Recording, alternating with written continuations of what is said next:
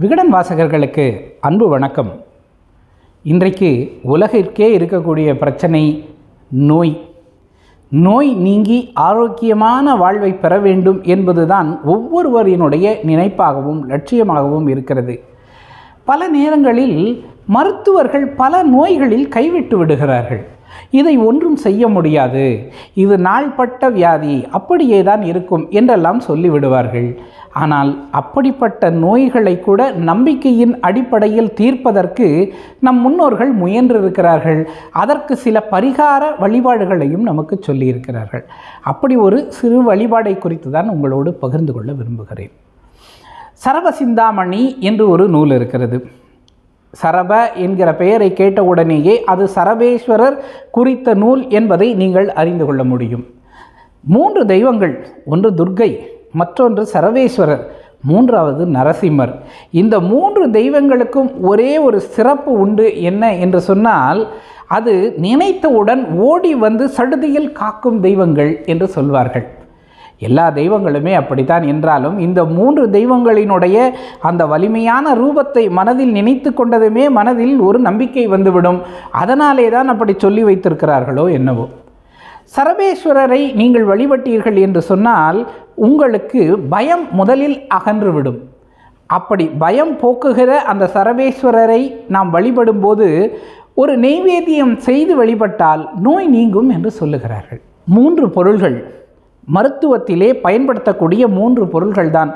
சுக்கு மிளகு திப்பிலி ஆகிய மூன்று பொருள்கள்தான் மூன்றையும் சம அளவிலே எடுத்துக்கொள்ள வேண்டும். பின்பு அதற்கு இணையாக பனங்கற்கண்டை எடுத்துக்கொள்ள வேண்டும்.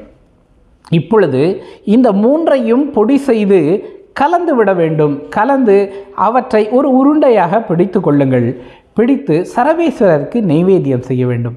என்ன செய்ய வேண்டும்? சரபேஸ்வரர் வீட்டிலே நீங்கள் வழிபடுகிறீர்கள் என்றால் சரபேஸ்வரரின் படத்தை வைத்து விளக்கு ஏற்றி அவர் மனதார பிரார்த்தித்து கொண்டு இதை நெய்வேத்தியம் செய்ய வேண்டும். நெய்வேத்தியம் செய்ததிலிருந்து ஒரு சிறு சுண்டைக்காய் அளவுக்கு எடுத்து தினமும் காலையும் மாலையும் சாப்பிட வேண்டும். நாற்பத்தி எட்டு நாள்களுக்கு அப்படி சாப்பிட வேண்டும். அப்படியானால் நீங்கள் ஒரு மருந்தை தயாரிக்கிற பொழுது எவ்வளவு தேவைப்படும் என்பதை நீங்களே கற்பனை செய்து கொள்ள முடியும்.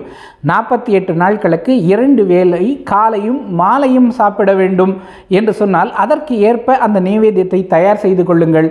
இதை உண்டு வாருங்கள். அப்படி நீங்கள் செய்கிற பொழுது உங்களுக்கு விரைவிலேயே நோய் குணமாகும் என்கிறது அந்த நூல். அப்படி நாம் வணங்குகிற பொழுது சொல்வதற்கு ஒரு ஸ்தோத்திரத்தையும் நம் முன்னோர்கள் சொல்லி வைத்திருக்கிறார்கள். ஔஷதீஸ்வரோ அஷ்டபாத ருத்ரோ சரபமூர்த்தி நமோ ருத்ர ரௌத்ரோ நமோ ருத்ர ரௌத்ரோ அபமிருத்யு விநாசக பக்ஷிராஜக கோரபாதக நாசன சரபேஸ்வராக சர்வரோக நிவாரணக தேக புஷ்டி ஆரோக்கிய வரப்பிரதகா. இந்த எளிமையான இரண்டு வரி ஸ்லோகத்தை நீங்கள் எழுதி வைத்து கொள்ளுங்கள். இதை நீங்கள் தினமுமே சொல்லி வாருங்கள். அப்படி சொல்லுகிற பொழுது உங்கள் தேக ஆரோக்கியம் பொலிவாகும் என்று அந்த நூல் சொல்லுகிறது. நம் முன்னோர்கள் இதை பரிந்துரைத்திருக்கிறார்கள். இதை செய்வோம்.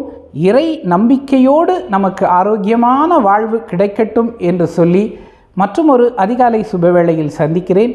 அதுவரை உங்களிடமிருந்து விடைபெறுவது சைலபதி. வணக்கம். சக்தி விகடனின் வீடியோக்களை தொடர்ந்து காண இந்த சேனலை சப்ஸ்கிரைப் செய்யுங்கள். வீடியோ குறித்த தகவலை உடனுக்குடன் அறிய பெல் ஐக்கானை கிளிக் செய்யுங்கள். வீடியோக்களை உங்கள் நண்பர்களுக்கும் உறவுகளுக்கும் பகிர்ந்து கொள்ளுங்கள். என்றென்றும் இறைப்பணியில் உங்களோட சக்தி விகடன்.